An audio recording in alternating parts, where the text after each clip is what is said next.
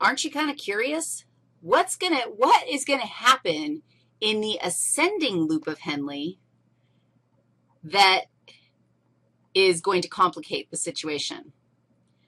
Well, first of all, if the, do you agree with this? If the ascending loop of Henle functioned just like the descending loop of Henle, then basically we're just going to reabsorb the water that we, we're going to not reabsorb it. We're going to, is it, not, we're not filtering it, and we aren't really secreting it. We're going to do something with the water. We're going to bring the water back into the tubule, which is, there's no name for it because it doesn't happen. Okay, you know why? This is so cool. The ascending loop of Henle is waterproof. So let's make that really clear. It's a waterproof line of cells,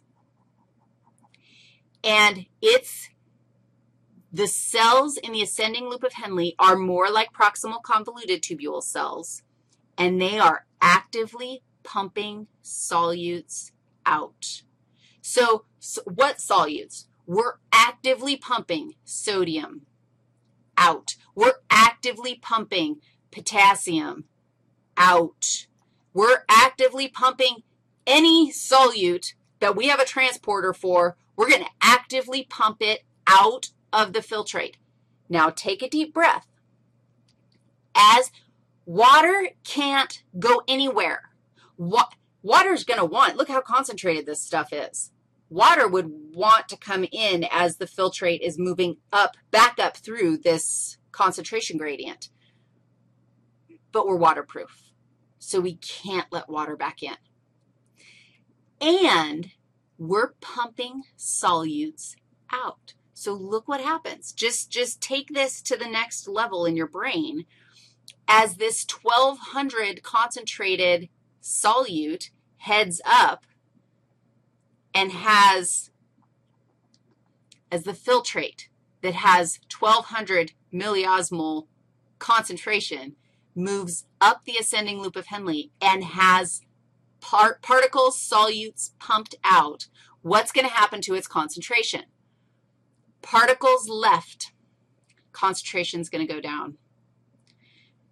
As more particles leave, concentration is going to go down. As more particles leave, concentration is going to go down. In fact, by the time we reach the distal convoluted tubule, we can have a concentration that it can be all the way down to 100 milliosmoles because we actively pumped solutes out. In fact, we pumped so many solutes out that that's one of the reasons we can maintain this concentration gradient because the solutes keep getting actively pumped out of this solution, out of the filtrate. Again, this is pretty awesome. So we reabsorbed a whole bunch of water. Now we are reabsorbing a whole bunch of solutes.